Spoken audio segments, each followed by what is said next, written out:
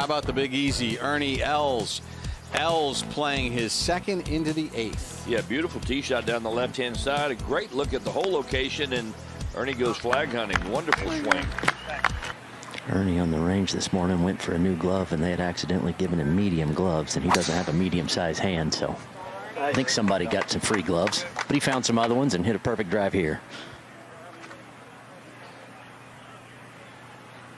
Beautiful tee shot by Ernie. Els second at 11. 125, and is he going to hit this past the hole after watching those two? Does he think maybe there's not as much wind as they're anticipating? Well, he gave it a pretty, pretty full treatment. He doesn't get to the flag, but its release is down the slope. He's now left himself a really nice look right up the slope. That's a great look here for Ernie Els just up the slope. Yeah, easy little putt there. Lanny Miguel had already tapped his in for bogey, and that's a great birdie for Ernie. Yeah, Ernie is long, but I don't think he's got enough to carry the bunkers. Doesn't have to worry about it. He gets that down slope too. 35 feet at least left of the flag. And did he cut it? Not enough, Just but straight. yeah, but safe. And comes up a little short. That's not going to be the easiest play in the world from there. He's got a lot of fairway to go through if he elects to putt that from there.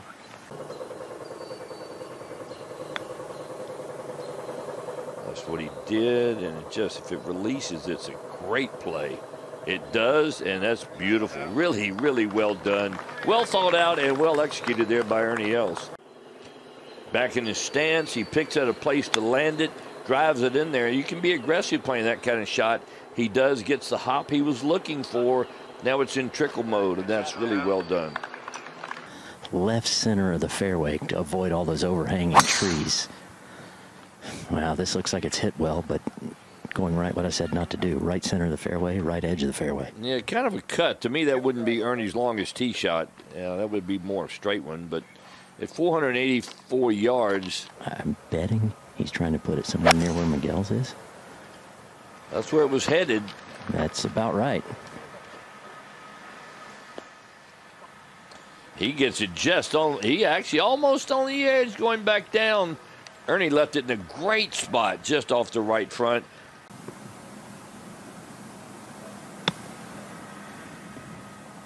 That was exactly the kind of shot I was expecting him to play. Now, if it just runs out, really well done. Great touch. I mean, Ernie's short game is very tidy. Always has been. So Els is going to have that short birdie putt to get to nine under and take the outright lead.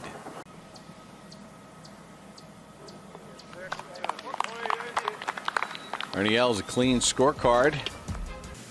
Ernie can move it left to right. Let's see if he elects to do that. Oh, he does. Just going to drift it, drip it right.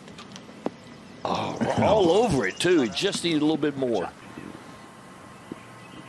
Uh, there were just a couple gentlemen walking down talking, not paying Oh, much he buried attention. it. There you Look go. Great putt by Ernie. Not surprised, man. I tell you what, I love the way he's rolling the ball, Bob. This is this is like a whole brand new Ernie Els. You know, that fairway does pinch in a lot where he's going to drive it. Oh, he pulled it.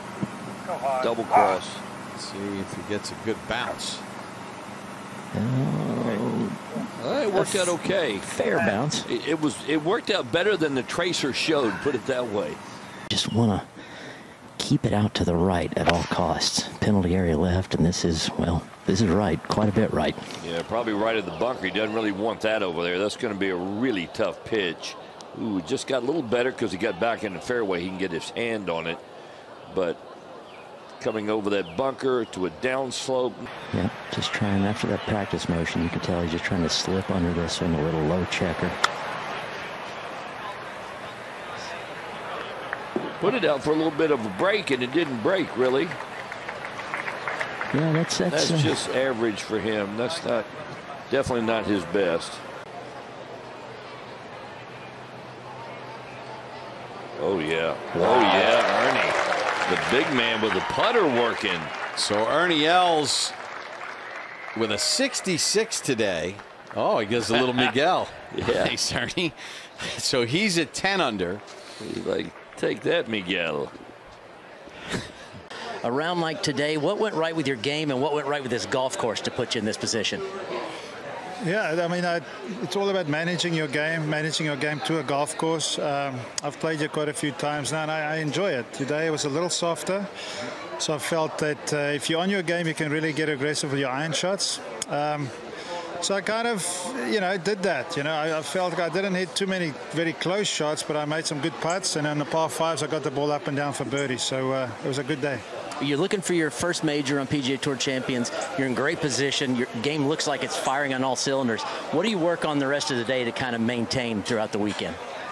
Well, it's a pretty nice walk out there, as you felt this Yeah. morning. You know, for us old guys, not not you, you're still a youngster. But then, um, no, I'll, I'll do my thing. I'll, you know, I've got new uh, shafts in my irons, you know, that I put in last week, so I'm getting kind of used to that. So I'll hit a couple of shots, and just you know, kind of you know, keep it ticking over, um, and then get back and then relax and get get going for tomorrow.